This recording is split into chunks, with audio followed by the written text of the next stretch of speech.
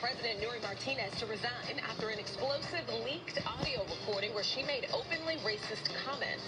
We're live with the latest. Also, the second sex crimes trial of former Hollywood mogul, now convicted rapist Harvey Weinstein begins today. Why this trial has become even more critical in terms of Weinstein's future.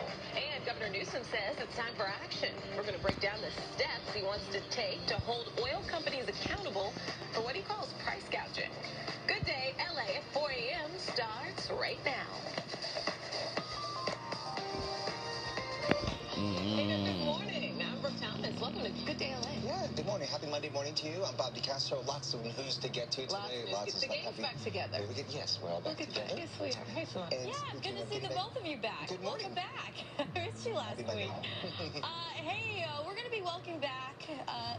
cooler temperatures in some locations. We're still detecting the marine layer clouds this morning, the low-level clouds, and even some patches